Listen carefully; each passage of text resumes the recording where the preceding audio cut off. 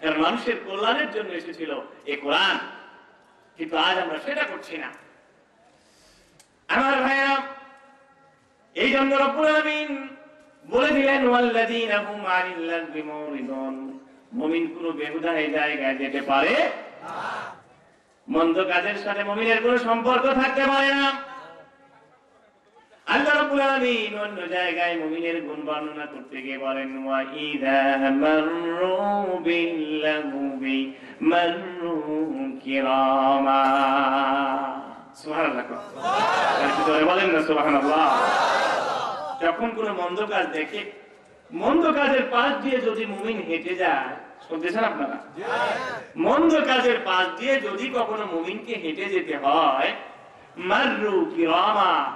করিম মানুষের মতো, ভদ্র মানুষের মতো, সম্মানিত মানুষের মতো হেঁটে চলে যায়। যে এই টিভির সামনে যাওয়া আমার জন্য শোভনীয় নয়। আমি তো মুসলমানের সন্তান। আমি মুসলমানের সন্তান কোনদিন। তার বাড়ির সন্ন্যাতে খাতনা অনুষ্ঠানে ওই গানের নর্তকীর ড্যান্স নাচানাচি আর ব্যায়াম পাটি আনতে পারে না। মুসলমানের সন্তান কোনদিন সাউন্ড বক্সে গান দিতে পারে না। কথা বলেন ঠিক কিনা? দুঃখজনক আজ আমরা মুসলমান বলে দাবি করি। বেশিরভাগ মুসলমানের বাড়িতে অনুষ্ঠান হলেই সেখানে সাউন্ড বক্সের গান আছে না নাই? শুধু কি গান? গানের সাথে টানও আছে। ঠিক না? টান বোঝেন তো? টান হচ্ছে ওই যে অদ্ভুত সব যে সমস্ত আওয়াজগুলো আছে কীভাবে বাজে ধুক ধুক ধুক ধুক করে থাকাও তো যায় না। হাতে রুগীরা তারা অসম্ভব কষ্টে থাকে কিন্তু দুঃখজনক এই বাংলায় ইসলামী কোরআনের মাহফিলের বিরুদ্ধে চল্লিশ ধারা জারি হয়। এই সমস্ত গানের বিরুদ্ধে কোনো অ্যাকশন আমরা নিতে দেখি না ঠিক না? আমি বলি তুমি জাহান নামে যাবে একাই যাও আমাদের যাওয়ার দরকার নাই। ঠিক না? কিন্তু আজ একটা অনুষ্ঠান হলেই অনুষ্ঠানে মাস্ক এগুলো থাকবে। আর জোরে জোরে সাউন্ড দেবে প্রতিবেশীর ঘুম নষ্ট করবে, প্রতিবেশী ঘুমাতে পারে না। স্কুলে যারা পড়ে, তারা লেখাপড়া করতে পারে না। একজনের পরীক্ষা আছে, পরীক্ষার আগের রাতে তার ঠিক মতো পড়তে পারে না সাউন্ড পলিউশন। ছোট বাচ্চা থাকলে কান্না করে ওঠে, চিৎকার করে ওঠে। অসুস্থ রোগী রাতের বেলা ঘুমাতে পারে না। কিন্তু এইগুলোর বিরুদ্ধে কোনো অ্যাকশন সেভাবে দেখি না। আল্লাহ আল্লাহ রবুল আলমিন বললেন, মমিন কোনোদিন এইগুলো করতে পারে না। যারা নামাজও পড়ে, টিভিও দেখে। আছে না নাই? নামাজও পড়ে, স্টার জলসাও দেখে। নামাজও পড়ে, গানও দেখে। নামাজও পড়ে, আবার ছেলের কোন অনুষ্ঠান হলে, বিরাট সন্ন্যাতে খাতার অনুষ্ঠান করে, এখানে লোকজনকে দাওয়াত দিয়ে টাকা খাইয়ে গান, বাজনা সবই করে। সন্ন্যাতে খাতনার সাথে অনুষ্ঠানের কোনো সম্পর্ক সম্পর্ক নেই। কিন্তু ওখানেও আছে। ছেলের বিয়েতে সেখানেও দেখা যায় বিরাট গান, বাজনা সবকিছুই করে। এরা মুসলমান হতে পারে না। এ কিছু মানবা আর কিছু মানবা না। এইটা হতে পারে না। যখন তুমি বলেছ, আমি মুসলমান তখন তুমি বলেছ, সামিনা ও আকায়না কোরআন শুনলাম। কোরআন যা বলেছে, হান্ড্রেড পার্সেন্ট মেনে নিলাম। তাহলেই তোমার নাম মুসলমান, ঠিক কিনা কিন্তু আমাদের মুসলমানদের আজ বেশিরভাগের অবস্থা দোদিল বান্দা কালমা চোখ ঠিক না? দোদিল বান্দা কালমা চোর না পায় শ্মশান, না পায় গোর। দিন থাকিতে আইরে ছুটে ছাইরা দে সব ভণ্ডামি ভণ্ডামি ভণ্ডামি ভণ্ডামি। ছাইরা দে ছাইরা দে, ভণ্ডামি। ঠিক না দোদিল বান্দা। ও নামাজ কালাম পড়ে না, ইবলিশ শয়তানের নানা। সোজাঙ্গুলে ঘি উঠে না, লাগবে তোর ঠ্যাঙ্গানি ঠ্যাঙ্গানি ঠ্যাঙ্গানি ঠ্যাঙ্গানি, ছাইরা দে ছাইরা দে ভণ্ডামি। এই কোরআনের ভিতরে শুধুমাত্র নরম নরম কথা নাই, এই কোরআনের একটা সূরার নাম হচ্ছে হাদিদ। হাদিদ মানে লোহা। আল্লাহ তাআলা বলেন, আমি লোহা নাজিল করেছি, তার ভিতরে শক্তি রয়েছে এখানে।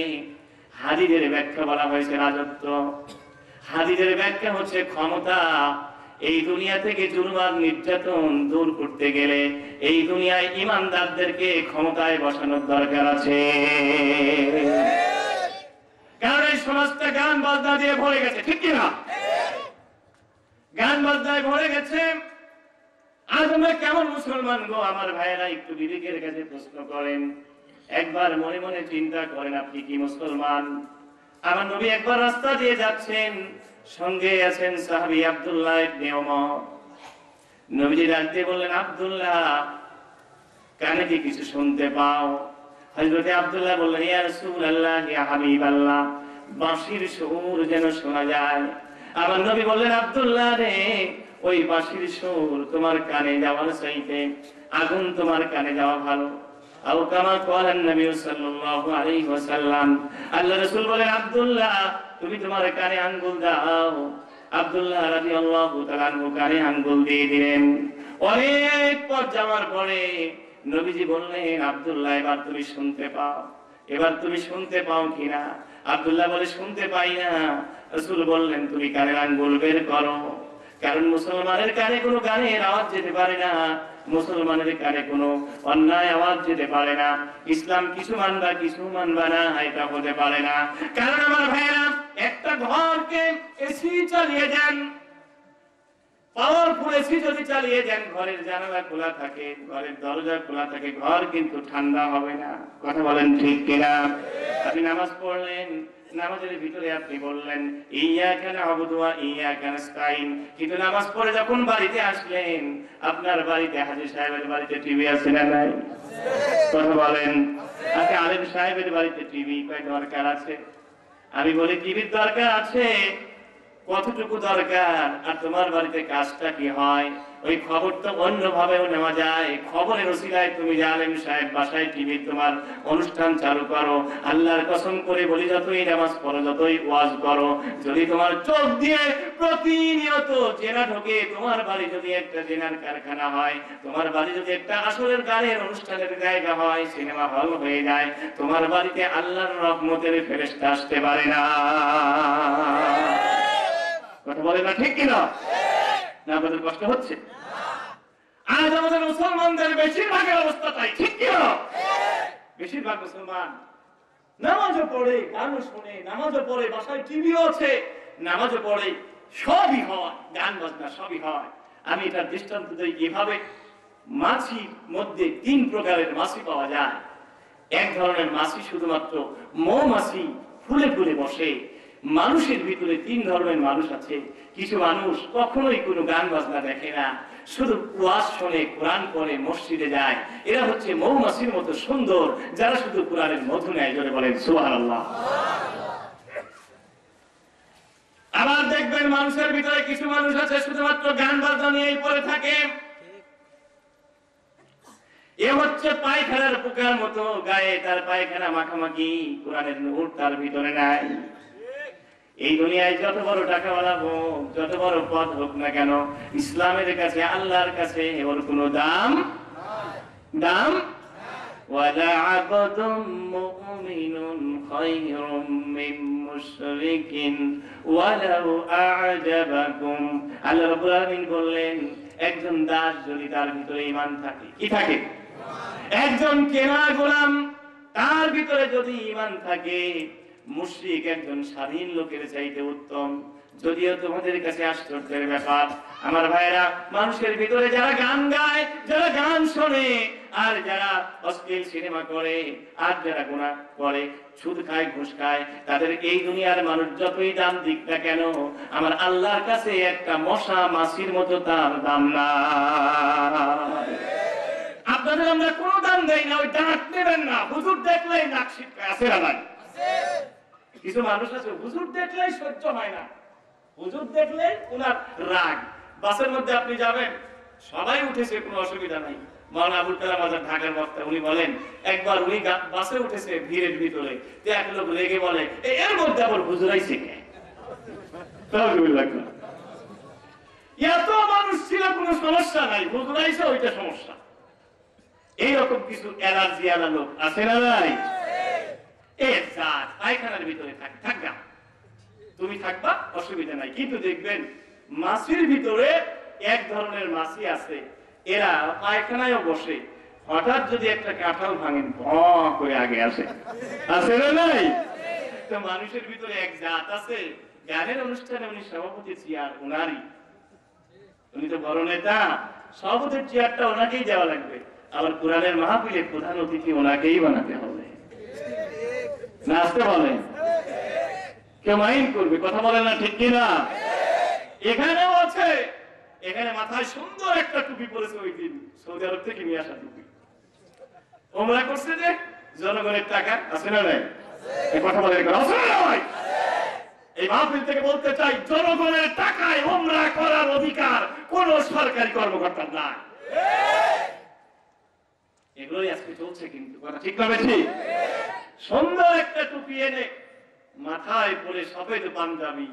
কি মিষ্টি করে দারুণ করে এমন ভাবে কথা বলে, মনে হয় কালকেই বাংলাদেশে ইসলামী রাষ্ট্র কায়েম করে ফেলবে। কিন্তু দূরে গিয়েই বলে, এই, আমার যা বলার বললাম, তোরা দেখিস, বেশি উল্টা পাল্টা যদি কয়, মাহফিল বন্ধ করে দিবি। ঠিক কিনা? দলিল বান্দা ওখানেও থাকে, এখানেও থাকে, আমরা বলতে চাই, এরা হচ্ছে ওই প্রকারের মাছি যেগুলো পায়খানায় বসে, আবার ভাতের উপরে বসে জীবাণু ছড়ায় দেয়। এরা সমাজের জন্য ডেঞ্জারাস এই মুনাফিক মার্কা, মুসলমান থেকে কোনো লাভ নাই, কারণ মুসলমানের জায়গা জাহান নামের মুনাফিকের জায়গা জাহান নামের সবচাইতে নিচে। কাজে আমরা বলতে চাই, ও মুসলমান, কোন মোমেন কোনদিন গান বাজনার অনুষ্ঠানে থাকতে পারে? থাকতে পারে? আমার ভাইরা আল্লাহ তাআলা বলে দিলেন ওয়াল্লাযীনা হুম আনিল লাগবি মুরিদুন জান্নাতি মুমিন যারা তাদের দুই নাম্বার পরিচয় তারা কোনো বেহুদা কাজ করতে পারে না আল্লাহ আমাদেরকে তৌফিক দিক ধরে বলেন আমিন মুমিনের তিন নাম্বার গুণ والذين هم للزكاة فاعلون একটু জোরে কি বলবেন? না আমার আল্লাহ তাআলা বলে মুমিন বলে যদি কেউ দাবি করে, এই সামর্থ্য থাকলে তাকে জাকাত দিতে হবে। জাকাত দেওয়ার মুসলমান বাংলাদেশে কম না বেশি? আর একটু জোরে বলেন। লাখ টাকা দিয়ে, পঞ্চাশ হাজার টাকা দিয়ে বিরাট গরু কুরবানি দেওয়ার মুসলমান বাংলাদেশে অনেকেই আছে, ঠিক কিনা? কুরবানি করা ওয়াজিব এবং কুরবানি যদি দশ হাজার টাকা দিয়ে দেন, হয়ে যায়, ছাগল পাওয়া যায়। আমার রাসূল তার জীবনে বেশিরভাগ কুরবানি দিয়েছেন ছাগল দ্বারা। এই জন্য উলামায়ে দিন বলেন, সবচাইতে উত্তম কোরবানি ছাগল কুরবানি দেওয়া। অবশ্য কেউ কেউ বলেছেন, প্রাণী যত বড় হবে, তত বেশি সওয়াব কিন্তু অনেকে বলেন জীবনে বেশিরভাগ ছাগল দিয়েছেন, দম্বা দিয়েছেন, ছাগল দম্বা উত্তম কোরবানি, কিন্তু মুসলমানের ভিতরে জাকাত দেওয়ার লোক নাই, জাকাত বিশ হাজার টাকা দেয় না। ওই মুসলমান পঞ্চাশ হাজার টাকা দিয়ে আবার কোরবানি দেয়। কারণ যদি বিশ হাজার টাকা জাকাত দিলে তো কেউ দেখবে না। আর পঞ্চাশ হাজার টাকার কোরবানি দিলে গোস্তও খাওয়া যাবে। মাঝখানে নাম হবে। আল্লাহ তাআলা বলে দিলেন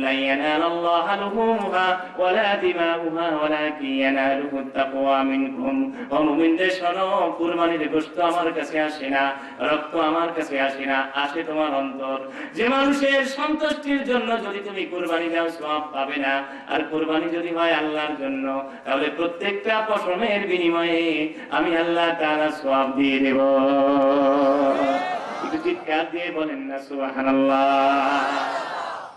আমার প্রশ্ন এই জায়গায়, বিশ হাজার টাকা দিলে কোরবানি হয়ে যায়, উনি পঞ্চাশ হাজার টাকা এক লাখ টাকা দিয়ে কোরবানি দেয়। অনেক নেতা তো আছে, পাঁচ জায়গায় পাঁচটা সাপ আছে না নাই? এই পাড়ায় একটা সার ওই পাড়ায় একটা সার সার কোরবানি দেয়। আর তোরা গোস্ত ভাগ করে নিস।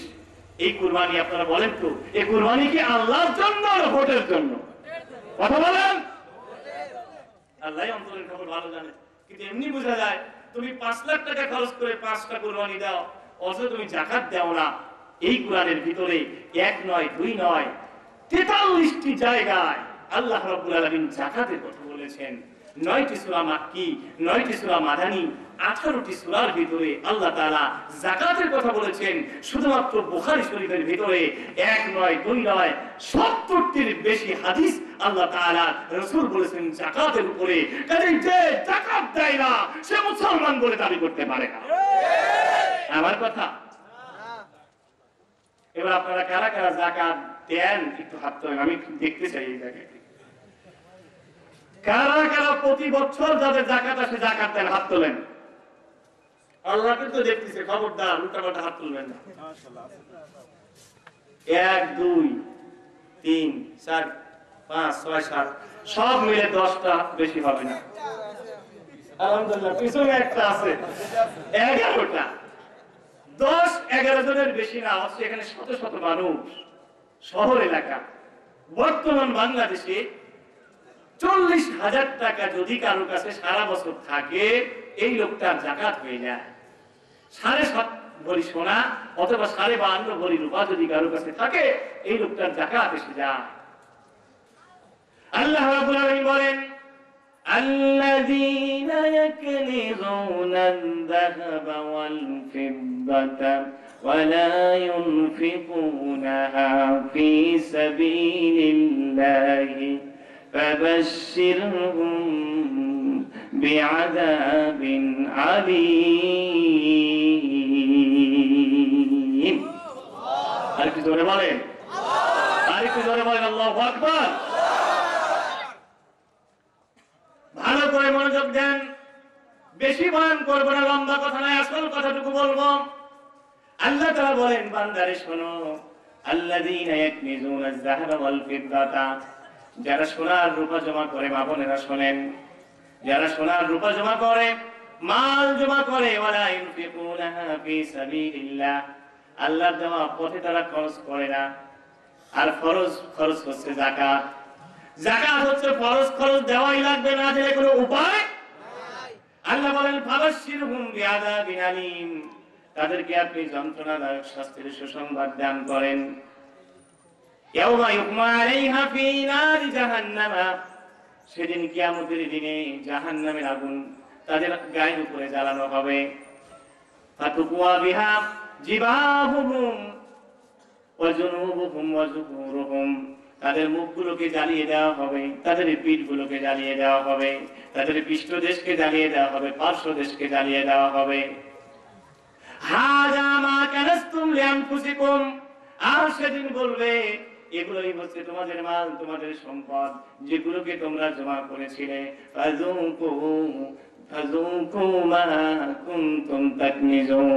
যা জমা করেছিলে, তার শাস্তি ভোগ করো। আমার নবীজি বলেন, যারা যাকাত দেয় না, কিয়ামতের ময়দানে ওই যাকাতের মাল একটা অজগরের সাপ হয়ে যাবে। কি হয়ে যাবে? বলুন। অজগর সাপ হয়ে যাবে। তার দুইটা চক্ষু হবে নীল, লেহু জাবিবাতান। দুইটা চক্ষু হবে বিষের কারণে নীল, এত বেশি বিষ থাকবে, চোখ দুটো তার নীল। এই লোকটা ইতাকুহুম ইয়াউমাল কিয়ামা যাকাত দেয় না তা তার গলায় পেঁচিয়ে দেওয়া হবে। ইয়া যে দেয় না, তার চলের এই জায়গায় কামড়াতে থাকবে। আর ডেকে ডেকে বলবে, "আ- আনা আমি তোমার মাল, আমি তোমার গুপ্ত ধন, আমি তোমার সঞ্চিত সম্পদ। সেদিন চিৎকার করে বলবে, আল্লাহ আরেকবার দুনিয়ায় যেতে না মাল জমা করব না, মাল জমা করব না। আল্লাহ বলবেন, আর কখনোই হবে না কখনোই হবে না। আফসোস করে বুক চাপড়াবে, পিঠ চাপড়ায় বলবে, ইয়া লাইতানি কুনতু তুরাবা। আরে, আমি যদি মানুষ না হয়ে মাটি হতাম, কতই না ভালো হয়ে যেত। আমার ভাইয়ের, আল্লাহকে যদি ভয় করেন, আল্লাহর জন্য বলি, পায়ে হাত দিয়ে বলে, অনুরোধ করে বলি, আল্লাহ তারা সম্পদ দেওয়ার মালিক, আল্লাহ তারা আমার সম্পদ কেড়েও নেওয়ার মালিক। কথা বলেন ঠিক কিনা? আল্লাহ তারা কাউকে বড় বানিয়েছেন, আবার কাউকে গরিব বানিয়েছেন। তোমার চেহারা সুন্দর, আরেকজনের অসুন্দর। তুমি ইচ্ছা করে আনো নাই দিয়েছেন কে? তোমাকে আল্লাহ বড় লোক করেছেন আল্লাহ আরেকজনকে গরিব করেছেন। এই জন্য জাকাত দিতে হবে। জাকাত না দিলে মুমিন হওয়ার কোন পুরোপুরি সম্ভাবনা নাই। জাকাত না দিলে মুসলমানের কাতারে আসার তার কোনো সম্ভাবনা নাই। ঠিক কিনা? আপনারা জানেন?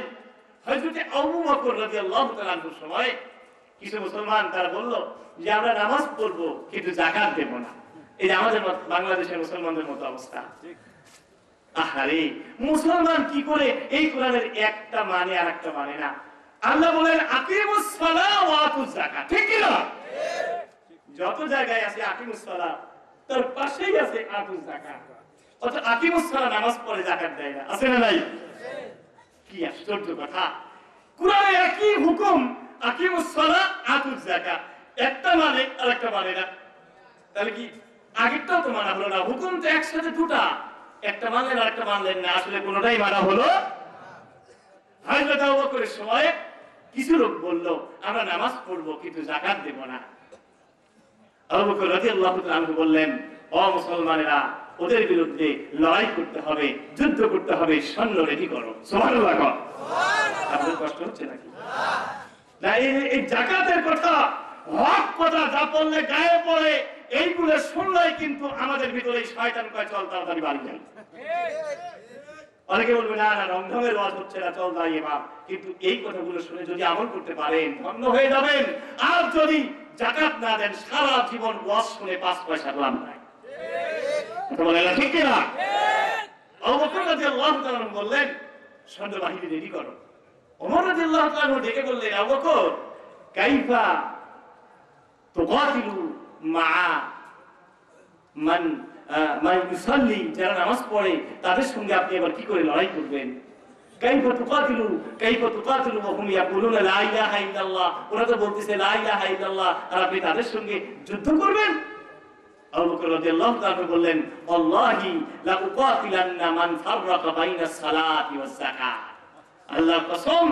নামাজ এবং জাকাতের ভিতরে যারা পার্থক্য করে, আমি তাদের বিরুদ্ধে লড়াই করব। কারণ নামাজও যে আল্লাহ দিয়েছেন জাকাতও ওই আল্লাহ নামাজ পড়ে জাকাত দেয় ও পুরা ভণ্ড। কথা বলেন না ঠিক কিনা? আমি তার বিরুদ্ধে লড়াই করব, আল্লাহি لو منعوني إطالا كان يودونه في عهد رسول الله. আল্লাহ রসুলের যুগে ওরা যে উটের রশি, ছাগলের রশি জাকাত হিসেবে দিত। এখন যদি ওই রশিটাও পাই যে রশিটা দেবো না, ওই রশির জন্য, দড়ির জন্য আমি অবকর তাদের বিরুদ্ধে লড়াই করব।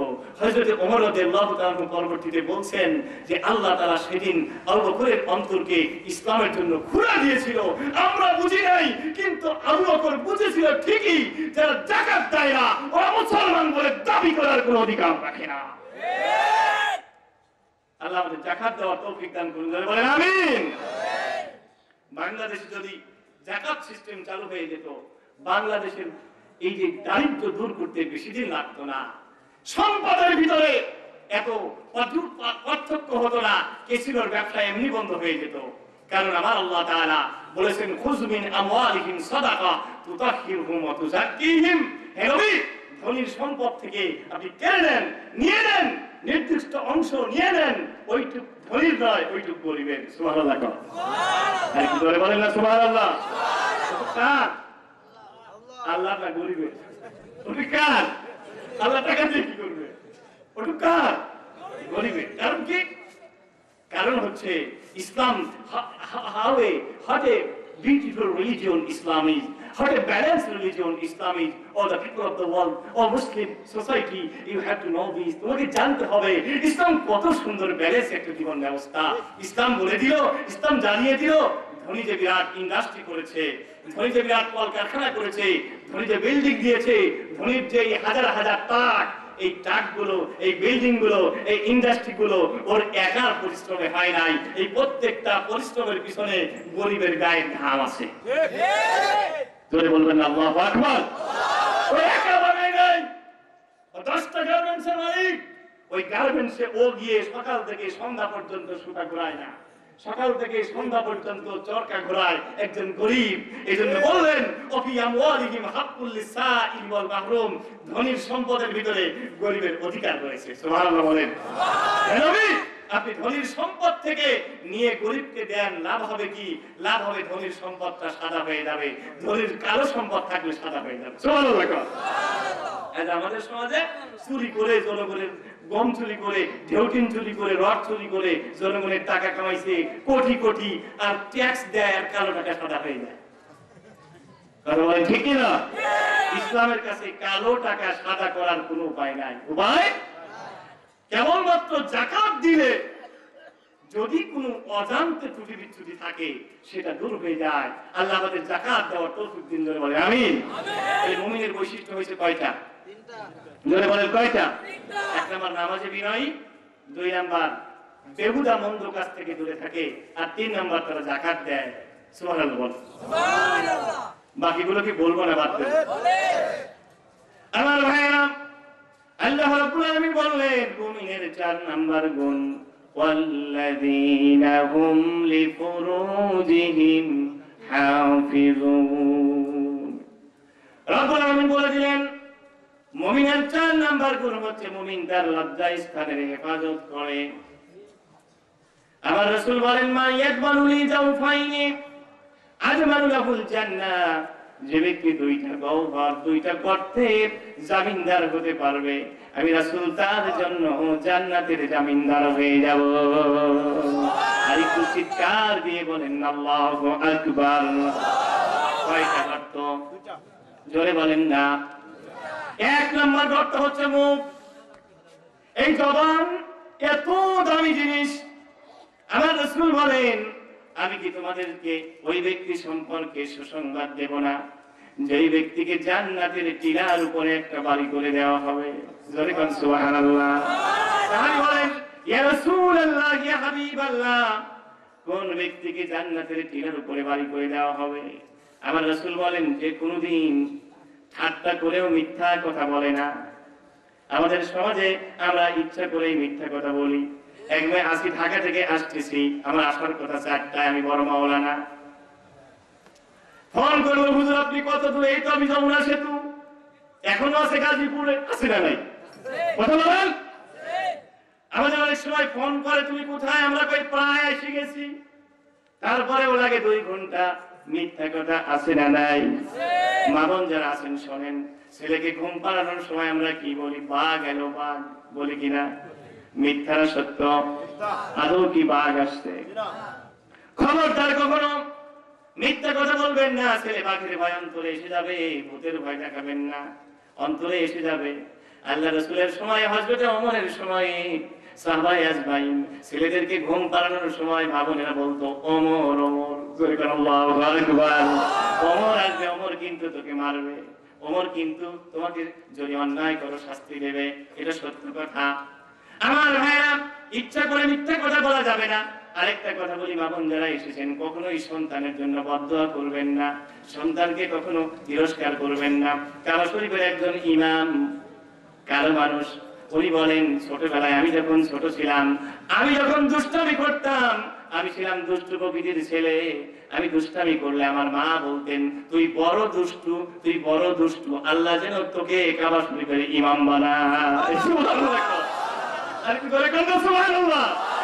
তাই আমি যখন দুষ্টামি করতাম, তখন আমার মা বলতো, আল্লাহ যেন তোকে কাবা শরীফের ইমাম বানায়। মায়ের দোয়া কবুল হয়ে গেছে, এখন আমি কাবা শরীফের ইমাম। এই জন্য সন্তানের সঙ্গে কখনো মিথ্যা কথা বলা যাবে? আমার নবীজি বলেন, যে ব্যক্তি কখনো ঠাট্টা করেও মিথ্যা কথা বলবে না। আমি তার জন্য জান্নাতের কিনারে, ওই টিলার টিলার কিনারে একটা প্রাসাদের সুসংবাদ দিচ্ছি।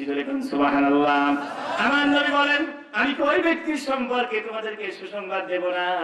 যাকে জান্নাতের টিলার মাঝখানে একটা বিল্ডিং বানায় দেওয়া হবে। সাহাবীরা ইয়া কোন ব্যক্তিকে জান্নাতের টিলার মাঝখানে বিল্ডিং বানায় দেওয়া হবে? আল্লাহ রাসূল বললেন, দুইজনের ভিতরে যখন ঝগড়া লাগে লাগে কিনা? সংসার করতে গেলে ঝগড়া আছে না নাই? রসুল বললেন যদি ঝগড়া হঠাৎ বেঁধে যায় জবাব তার কাছে আছে জবাব ভালোই দিতে পারে কিন্তু ঝগড়া লেগে যাবে কথা বেড়ে যাবে। এই জন্য যে ব্যক্তি জবাব দেয় না ওই ব্যক্তির জন্য ও জান্নাতের মাঝখানে একটা বিল্ডিং বানায় রাখছেন কে? আমার রসুল বললেন আমি কি ওই ব্যক্তির জন্য তোমাদেরকে সুসংবাদ দেব না? যে ব্যক্তিকে জান্নাতের সর্বোচ্চ চূড়ায় একটা টিলার চূড়ায় একটা বিল্ডিং বানিয়ে দেওয়া হবে। সারি বললেন, কোন ব্যক্তি কোন ব্যক্তি? আমার রসুল বললেন, তোমাদের ভিতরে যার চরিত্র ভালো, যাকে সবাই বলে ভালো মানুষ, যাকে দেখলেই মনে হয় ভালো মানুষ চরিত্রটার ভালো, ওই ব্যক্তিকে জান্নাতের উপরে একটা বিল্ডিং বানায় দেওয়া হবে। আমার বলেন, যে ব্যক্তি আল্লাহ এবং রাসূলে বিশ্বাস করে যে আল্লাহ এবং পরকালে বিশ্বাস করে, সে যেন ভালো কথা বলে। আর ভালো কথা বলতে যদি না পারে, চুপ থাকি যেন। কারণ চুপ থাকলেও মুমিনের আমল নামায় সওয়াব লিখে দেওয়া হয়। চিৎকার দিয়ে বলবেন না, সুবহানাল্লাহ। চুপ থাকাটাও একটা ইবাদত। কি সুন্দর জীবন ব্যবস্থা ইসলাম, সুবহানাল্লাহ বলেন। এই জন্য মুখের হেফাজত করতে হবে। জবানের হেফাজত করতে হবে। রসুল বলেন আল মুসলিমু মান সালিম আল মুসলিমুনা মিন লিসানিহি ওয়া ইয়াদিহি। মুসলমান তো তারই নাম যার মুখ থেকে হ্যাঁ যার হাত থেকে মুসলমানরা নিরাপদ থাকে। মুখ দিয়ে যে মানুষকে কষ্ট দেয় মানুষকে গালি দেয় মানুষকে আঘাত করে কথা বলে। আছে না নাই? না না না, না কোন মুমিনকে আপনি আঘাত করে কথা বলতে পারেন না। এটা হারাম। তার মনে কষ্ট দিতে পারেন না। এটা হারাম। মুমিনকে তুচ্ছ করতে পারেন না। হারাম। মুমিনকে ছোট করতে পারেন না, হারাম, কারণ মুমিনের ইজ্জত অনেক বেশি। কার কাছে? এই জন্য জিহ্বাকে হেফাজত করতে হবে একটা গর্ত। এটার যে জামিনদার হতে পারবে, রাসূল তার জন্য জান্নাতের জামিনদার। আর দুই নম্বর গর্ত হচ্ছে যে ব্যক্তি হেফাজত করবে ইমান যদি থাকে, আল্লাহ রাসূল বলেন, আমি তার জান্নাতের গ্যারান্টি দিয়ে দিলাম। এই যুবক ছেলেরা আছো, তোমরা, তোমাদের চরিত্র ঠিক রেখে বেড়েছো তো? পেরেছ তো তোমরা? জেনা কিন্তু শুধু লজ্জাস্থানেরই হয় না, যেটা চোখের হয়, যেটা মুখের হয়, যেটা অন্তরের হয়, যেটা কিন্তু তোমার দেহের অনেক অঙ্গ প্রত্যঙ্গের জেনা আছে। আল্লাহ তাআলা আর আমাদের হেফাজত করুন, বর্তমানে জাহান নামে যাওয়া এত সহজ হয়ে গেছে। রাসূল বলেন, এমন একটা সময় আসবে যখন জাহান নামের দরজাগুলো এমনি ভাবে খুলে দেওয়া হবে। প্রত্যেকেই ওই দরজায় যাবে না, কিন্তু একটু উঁকি মারবে। আর ইন্টারনেটের কল্যাণে এমন হয়ে গেছে, জাহান্নামের প্রত্যেকটা দরজা খোলা হয়ে গেছে। ও যুবক, তুমি ইন্টারনেট ব্যবহার করো, করতে হয়। তাই বলে মুমিনের চোখ কখনো অশ্লীল সিনেমার ভিতরে যেতে পারে না। কেউ যেটা দেখছে না, সেটা দেখছেন কে? বলেন না কে? আল্লাহকে ভয় করতে হবে, লজ্জাস্থানের হেফাজত করতে হবে। আমার ভাইরা এই জায়গায় একটা, আমি হাদিস থেকে একটা কথা বলি, গল্প বলি। হাদিসের কাহিনী বলি, আপনাদের কষ্ট হবে।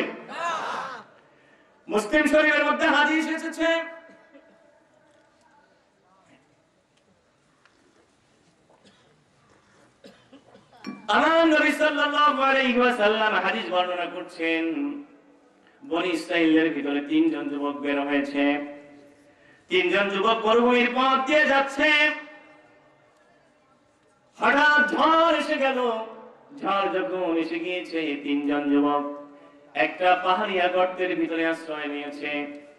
এমন সময় আল্লাহ রাব্বুল আলামিনের ইশারায় একটা পাথর এসে পাহাড়ের মুখ বন্ধ হয়ে গেছে। ঝড় যখন চলে গেছে, আল্লাহর তিনজন বান্দা ওই পাথরকে ধাক্কা মেরেছে, কিন্তু এত বড় পাহাড় টলানোর উপায় নাই। জিন্দিগিতে মরে যদি শেষ হয়ে যায়, কোনোদিন বের করতে পারবে না। সব দরজা যখন বন্ধ হয়ে যায়, দরজা খোলা থাকে কার? কেউ যেটা পারে না সেটা পারেন কে? কেউ যেটা শোনে না সেটা শোনেন কে? কেউ যেটা দেয় না সেটা দেন কে? আল্লাহ তোমার নাম জপিলে হৃদয়ে আমার শান্তি লাগে। মার হাবা বলেন। কি মায়াময়, কি দয়াময় নামেতে তোমার মধু আছে। মার হাবা আল্লাহ তোমার নাম জপিলে হৃদয়ে আমার শান্তি লাগে। যুবক তিনজন বললেন কেউ সরাতে পারবে না এই পাথরকে ফেরাতে পারবেন কে? যুবকেরা শোনো শোনো গো শোনো। তোমাদের ভিতরে যদি কেউ জীবনে কোনো ভালো কাজ করে থাকো এই ভালো কাজটার ওছিলায় আল্লাহর কাছে বলো। আল্লাহ তাআলা বলেছেন তোমরা ওসিলা তালাশ করো। এখানে ওসিলা মানে নেক আমল। অনেকে মনে করে ওসিলা মানে ভণ্ড পীরের মুরিদ হওয়া ওসিলা মানে ন্যাংটা পীরের ওইটা নাকি ওসিলা এমন পীর নিজেই পানি নেয় না পেশাব করে পানি নেয় না, আছে না নাই? মোজ কাটে না। এত বড় বড় মোজ তিনজন মিলে ফাঁক করে ধরা লাগে। ঠিক না ভিতরে দাঁত কিনা? ধরেন। নামাজ পড়ে না রোজা করে না শুধুমাত্র জিকির কত স্টাইলের সামাজিক বর্তমানে একটা নাম দিছে সামাজিক জিকির। তো না গান গায়। ওর বাবা কত যা স্টাইল। এক একজনের এক এক দিকে স্টাইল। কেমন? আছে না নাই? হ্যাঁ বিভিন্ন স্টাইল। কেউ ঝুঁক মারে এইদিকে এইদিকে। আবার কেউ এদিকে এদিকে। অনেকে আবার এইদিকে জিকির। আছে না নাই? কথা বলে না কেন? আছে না নাই? জিকির করে? এই পীরের হাতে আমার পুরি হয়, আর মেয়ে মানুষদেরকে বুঝ দেয় যে ওসিলা ধরা লাগবে। অর্থ হাদিসের মধ্যে আছে আল ইয়াতাওয়াসসালু ইলা রাব্বিহা।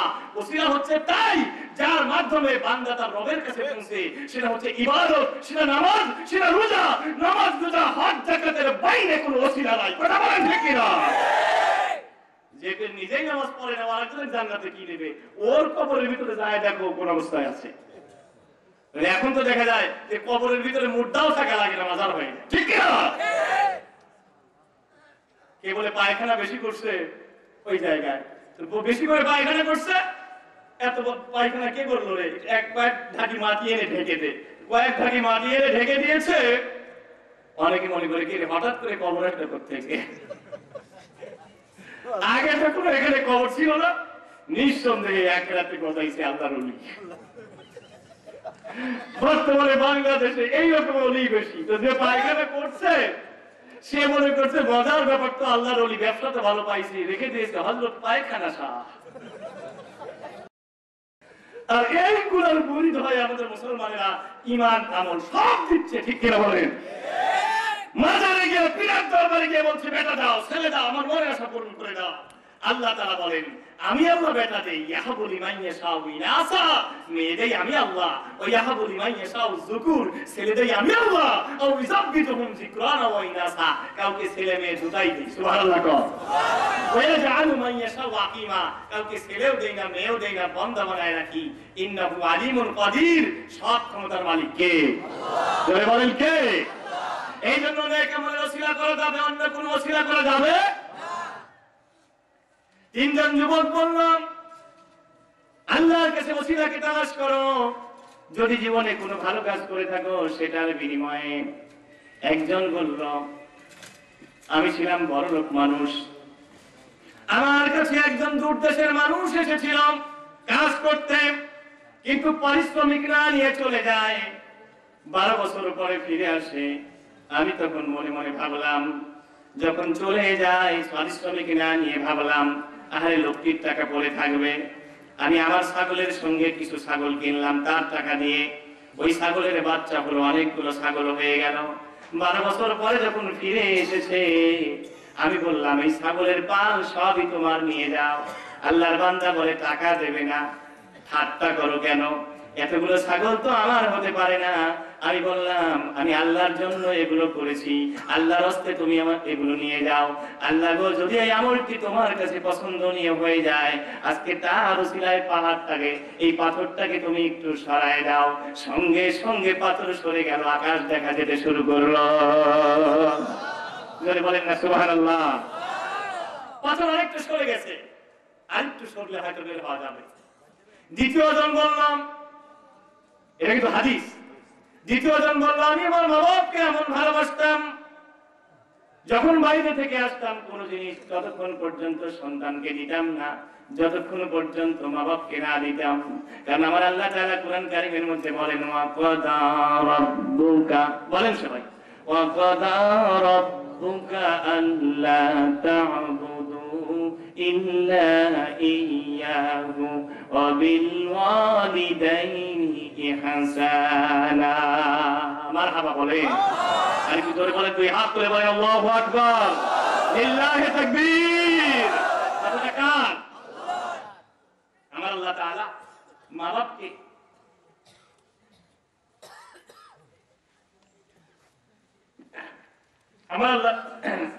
আমার আল্লাহ তাআলা মা বাপকে কত সম্মানিত করে দিলেন। আল্লাহর নামের সাথে মা বাপকে যুক্ত করলেন, সুবহানাল্লাহ বলেন। আর একটু জোরে বলেন না, সুবহানাল্লাহ। আল্লাহর পরে এই দুনিয়ায় কে, রসুলের পরে কে? মা বাপ ধরে বলেন কে? মা বাপের চাইতে বড় কোনো পীর, বড় কোনো অলি তোমার মায়ের পা ধোয়া দাও, আল্লাহর অলি হয়ে যাবে। বাইজিদ মুস্তামি গভীর রাত্রিতে মায়ের খুশির জন্য ঝর্ণা থেকে পানি এনে দাঁড়িয়েছিলেন। মাকে ডাকে নাই, মায়ের আবার ঘুম ভেঙে যাবে। যখন পানি আনতে গেছে, ততক্ষণ মা আবার ঘুমিয়ে পড়েছে। পানি নিয়ে দাঁড়িয়ে আছে শিওরে, আমার মা যখন ঘুম থেকে জায়গা পাবে। আবার যদি পানি চায়, তখন যদি দিতে না পারি, তাই আমি আর ঘুমাবো না। আমি দাঁড়িয়ে থাকি, মা জায়গা পেলে মাকে দেব। মায়ের ঘুম ভেঙে গেল। দেখলেন ছেলে বাড়িতে দাঁড়িয়ে। মা তো ভুলেই গেছে। বাড়িতে তুমি দাঁড়িয়ে কেন বাবা? মা, আপনি পানি চেয়েছিলেন মায়ের মনটা খুশি হয়ে গেল। মা বলে, আল্লাহ, আমার ভাইটি আমার জন্য যা করেছে, আমি খুশি হয়ে গেছি, তাকে তুমি তোমার উলি বানাই নাও। বাইরে বুঝতে আমি আল্লাহর উলি হয়ে গেল। সো ভালো বলে সবচেয়ে বড় বাপ, বড় পীর মা বাপ। মা বাপকে ভালোবাসবেন, মিষ্টি করে কথা বলবেন, আদর করবেন। মা বাপ মায়ের সাথে সব চাইতে সুন্দর আচরণ করবেন। বলেছেন কে? আল্লাহ তারা বলে দিলেন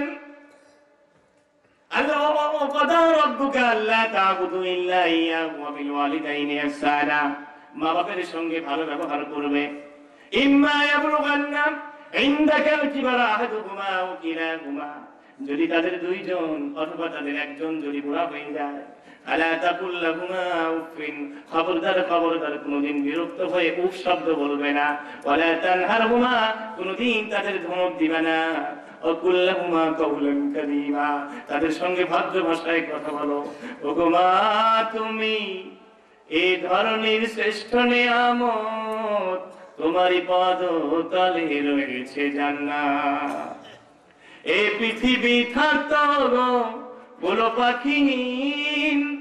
এ পৃথিবী থাকতো মায়ামহীন যদি না পেতাম মায়ের মায়ারি হাত যদি না পেতাম মায়ের মায়ারি হাত ও গো মা, তুমি এ ধরনের শ্রেষ্ঠ নিয়ামত তোমারই পদ তলে রয়েছে জান্নাত। কথা বলেন ঠিক কিনা?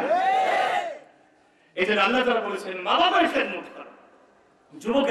একজন আমি মা এত ভালোবাসতাম, বাইরে যখন যেতাম, যাই আনতাম, মা বাপের মুখে না দিয়ে ছেলে মেয়েকে দিতাম না। আল্লাহ তাআলা তোমার কাছে যদি এই আমলটি পছন্দনীয় হয়ে যায়, তাহলে পাথর একটু সরায় দাও। সঙ্গে সঙ্গে পাথর একটু সরে গেল। তিন নাম্বার, আরেকজন যুবক বলল, আমি আমার চাচাতো বোনকে ভালোবাসতাম। আমার চাচাতো বোনকে পাওয়ার জন্য উতলা ছিলাম। এমন সময় একদিন আমার চাচাতো বোন বিপদে পড়ে গেল অভাবের কারণে। আমার কাছে চলে আসলো। আমি বললাম, আমি দিতে পারি। তোমার মাল দিতে পারি, যদি তুমি আমার কথা শোনো। অভাবের তারণায় তার অসুস্থ মা বাপ ঘরে। সে বলল, তুমি যা প্রস্তাব দেবে, আমি রাজি আছি, কিন্তু আমাকে টাকা দাও। আমি দিয়ে দিলাম। দিন চলে যায়, সে শুধু গরিমসি করে, আমার মনের আশা পূরণ করে দেয় না। একদিন তাকে বললাম, তুমি আমাকে কথা দিয়েছিলে দেবে। তুমি না মুমিন, ওয়াদা রক্ষা করা তোমার কাজ। এবার মা এবার চাচা যখন রাজি হয়ে গেল। আমি তখন তার সঙ্গে মনের আশা পূরণ করব, হাদিস এসেছে, তার শরীরের উপরে আমার শরীর, তার উরুর উপরে আমার উরু কঠিন একটা সময়, এই মুহূর্তে আমার চাচাতো বোন বলল, ও আমার ভাই রে তুমি আমার ইজ্জত নষ্ট করো না, তুমি আমার ইজ্জত নষ্ট করো না, সতীত্ব নষ্ট করো না, তুমি কি আল্লাহকে ভয় পাও না? ইত্তাকিল্লাহ ইত্তাকিল আল্লাহকে ভয় করো। তার কথা শুনে আমার মনের ভিতরে এমন তাসির হয়ে গেল এমন ভয় এসে গেল। আমি তাকে ছেড়ে চলে আসলাম। আল্লাহ গো, এই দিনের আমলটা যদি তোমার জন্য করে থাকি, তোমার কাছে পছন্দ নিয়ে হয়ে যায়। আজকে তুমি পাথর সরাই দাও। সঙ্গে সঙ্গে পাথর সরে রাস্তা পরিষ্কার হয়ে গেল। একটু চিৎকার দিয়ে বলেন না হুম লিফুরুজিহিম হাফিজুন। আর বলে কোন আকবার দুই হাত তোলেন লিল্লাহি তাকবীর যারা তাদের সতীত্বের হেফাজত করে, চরিত্রের হেফাজত করে, সতীত্ব কিন্তু শুধুমাত্র মেয়েদেরই হয় না। আমরা খালি মনে করি মেয়ের চরিত্র নষ্ট হয়ে যায়, মেয়ের সতীত্ব নষ্ট হয়ে যায়। ছেলে যদি অকাম করে ছেলে চরিত্র নষ্ট হয় না? কথা বলেন, হয় না? আমার আল্লাহ তাআলা কোরআনে মেয়ের কথা আগে বলেন নাই, কোরআনে আগে বলেছেন ছেলের কথা। কুল্লিল মুমিনিনা ইয়াগুদ্দু মিন আবসারিহিম, হে নবী, আপনি মুমিনদের বলে দেন, তারা যেন তাদের চোখের হেফাজত করে। চোখ যেন অবনত রাখে, মেয়ের কথা পরে বলেছেন, কারণ ছেলেরা দেখলে ছেলেদের মাথা খারাপ হয়ে যায়। ঠিক না? এই জন্য ছেলেদের পর্দা আগে, ছেলেদের চোখের হেফাজত করতে হবে। আমরা যখন গভীর রাত্রিতে মোবাইল নিয়ে পড়ে থাকি, আল্লাহ আমাদেরকে সেই সময়ের জন্য চোখের হেফাজত করার তৌফিক দেয় করে চার নম্বর কাজ। পাঁচ নম্বর কাজ হচ্ছে, মাঝখানে আর একটু আছে আল্লাহ তালা বলে দিয়েছেন, কিন্তু স্ত্রীর সঙ্গে যদি অথবা যদি দাসীর সঙ্গে তার বৈধ দাসী থাকে, তাহলে যদি তার সঙ্গে যৌন কর্ম করে, কোনো দোষ হবে না। কারণ এখানে বৈধ অধিকার দিয়েছেন কে? জোরে বলেন না কে? কিন্তু এর বাইরে কোনো কিছু করা যাবে? আবার দাসী মানে চাকরানি মনে করবেন না? বাড়িতে একজন কাজ করে, ও আমার দাসী। না, এই যুগের দাসত্ব কথা ব্যাখ্যা করার দরকার আছে। কথা বলেন ঠিক কিনা? ওই যুগে দাসত্ব কথা ছিল ওই জন্য আল্লাহ তাআলা বলে দিলেন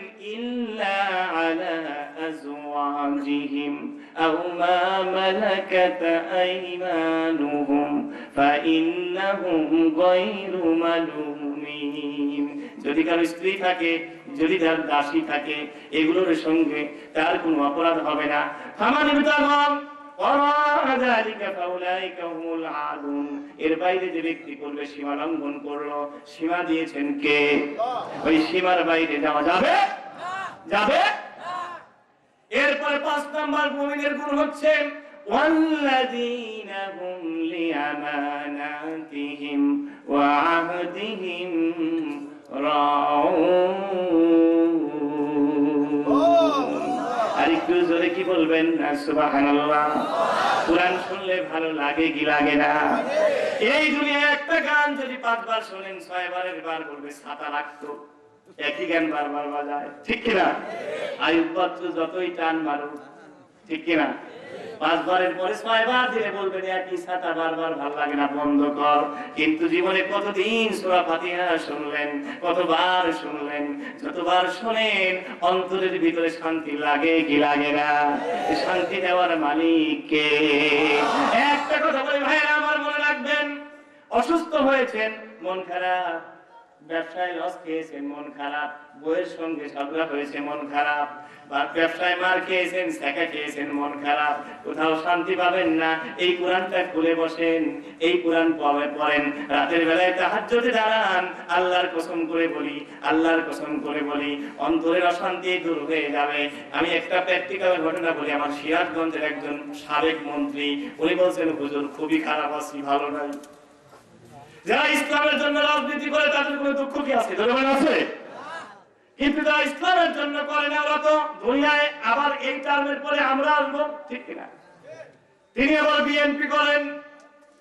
দশ বছর থেকে এগারো বছর ক্ষমতার বাইরে খালি টাকা ঢালতেছি, ব্যবসা নাই, বাণিজ্য নাই আমাদের বিভিন্ন দল করার কারণে আজকে সুবিধাজনক অবস্থায় নেই ব্যবসা বাণিজ্য বন্ধ। এত মন খারাপ, হতাশা হতাশা হতাশা। কিন্তু হুজুর, একটা কথা বলি, হতাশা দূর হয়ে যায়। যখন, এখন আমি কি করি? যখন কঠিন হতাশা আসে, আল্লাহর কিতাবটা নিয়ে বসি। কঠিন হতাশা যখন আসে, রাতের বেলায় তাহার জন্য দাঁড়াই, হুজুর, ওই সময়টাই শুধু শান্তি পাই। আর কোন সময় শান্তি পাই না, জোরে কান আর কি জোরে এই জন্য কোরআন শুনলে ভালো, মুমিনের লাগে যার লাগে মনে করতে হবে তার ভিতরে ইমান আছে, যার লাগে না, তার ভিতরে ইমান নাই। আমার ভাই লম্বা করব না, যারা আমানত রক্ষা করে, আমানত কিন্তু বহু রকমের হয়। আল্লাহ কোরআনে বলেছেন, ইন্নামা ইয়ামুর, ইন ইন ইন, ইন্নামা ইয়ামুরুকুম আন তুআদ্দুল আমানাতি ইলা আহলিহা। ওয়া ইযা হাকামতুম বাইনান নাসি আন তাহকুমু বিল আদল। এই আয়াতের ব্যাখ্যায় মুফতি শফি রহমাতুল্লাহ আলাইহি বলেন আধুনিক যুগ ভোট একটা বড় আমানত। না অনেকে আবার কয়নি কথা কোন ঠিক কিনা? আধুনিক যুগে ভোট একটা আমানত। এই ভোট দিলে আল্লাহ নেতা হয়ে যেতে পারে আবার তোমার ভোটের কারণে একটা মদখোর সেও নেতা হয়ে যেতে পারে। মদখোরের দেশে তুমি চেয়ারে বসাতে পারো। ওই মদ করে যত অন্যায় করবে এই ভোট দেওয়ার কারণে তোমার আমল নামায় ফ্লেক্সিলট হয়ে যাবে। ঠিক কিনা? ঠিক কিনা? মুফতি শফি রহমতুল্লাহ আলাইহি বলেন যে ভোট একটা বড় আমানত। তাফসীরে মারিফুল কোরআন খুলে দেখেন, সূরা নিসা 18 নম্বর আয়াতে।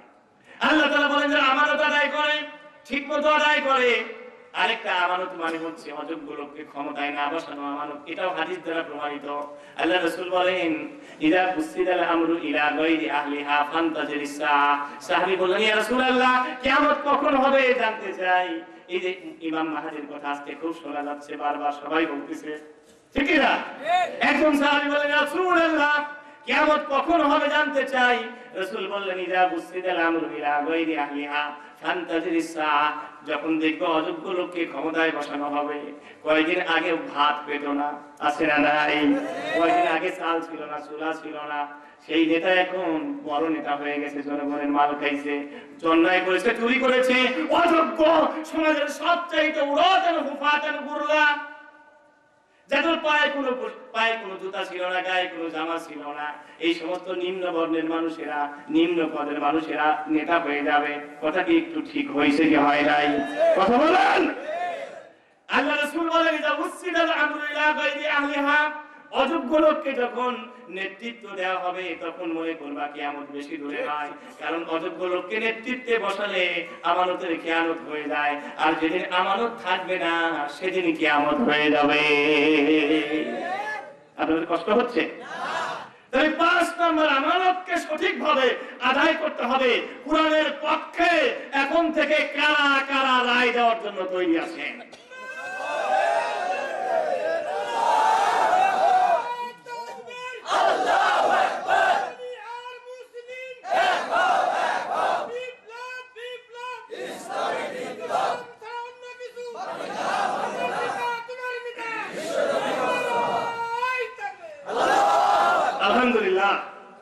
এরপর ছয় নম্বর হচ্ছে হুম লিআমানাতিহিম ওয়া আহদিহিম রাউন।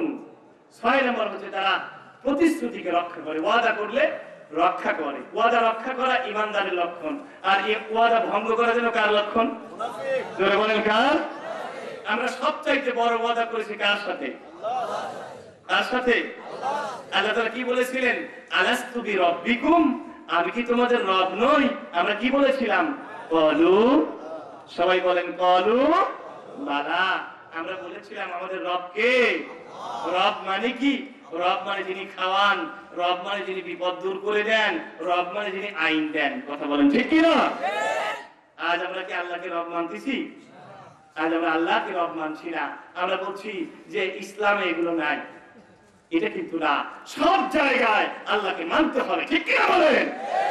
তাহলে আল্লাহর সাথে ওয়াদা রক্ষা হবে আল্লাহর সাথে ওয়াদা রক্ষা করব জনগণের সাথে ওয়াদা রক্ষা করব মানুষের সাথে ওয়াদা রক্ষা করব আল্লাহ কবুল করুন আমিন আর সাত নাম্বার হচ্ছে والذين على صلواتهم يحافظون যারা তাদের নামাজের হেফাজত করে এখন নামাজের হেফাজত মানে কি নামাজের হেফাজত মানে হচ্ছে ওয়াক্ত মতো নামাজ পড়া সময় মতো নামাজ পড়া জামাতের সাথে নামাজ পড়া এবার লক্ষ্য করেন মুমিনের গুণ কয়টা সবাই বলেন কয়টা কয়টা সাতটার ভিতরে পয়লা নাম্বার নামাজ। পয়লা নাম্বার কি? নামাজে। বিনয়ী। আর শেষ নাম্বার কি? নামাজ। রক্ত মতো জামাতে আদায় করা। শুরু নামাজ শেষ নামাজ। তার মানে যার নামাজ হয়ে যাবে ঠিক তার সবকিছু হয়ে যাবে ঠিক। সোহান আল্লাহ আমাদেরকে এই গুণগুলো অর্জন করার তৌফিক দান করুন। আমিন।